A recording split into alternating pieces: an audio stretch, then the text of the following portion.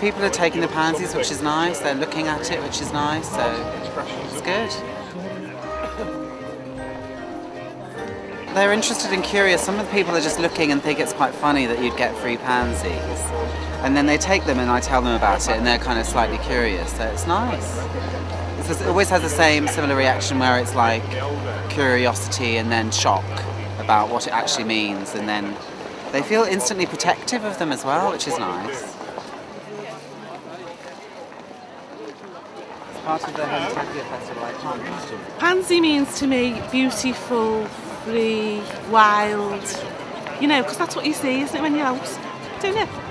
That's what it means to me.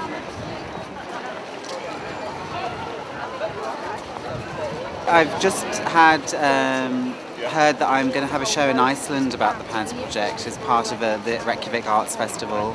I've had some interest from a gallery in Berlin where I'll have a gallery show of some of the photographs I've taken of the plants I've planted, um, and a couple of other sort of inquiries. So it's good. That's all happening early next year.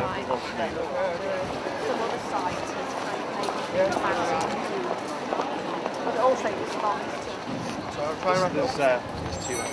Take two. Or would, you, would you like me to take that? Take five. Take all of them. yeah, pansy to me is obviously a flower.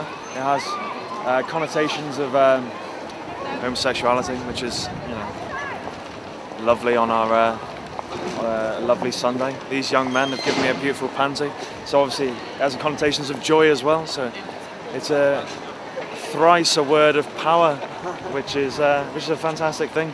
We should all we should all be pansies. Thank you very much. See you later, mate. Have a nice day.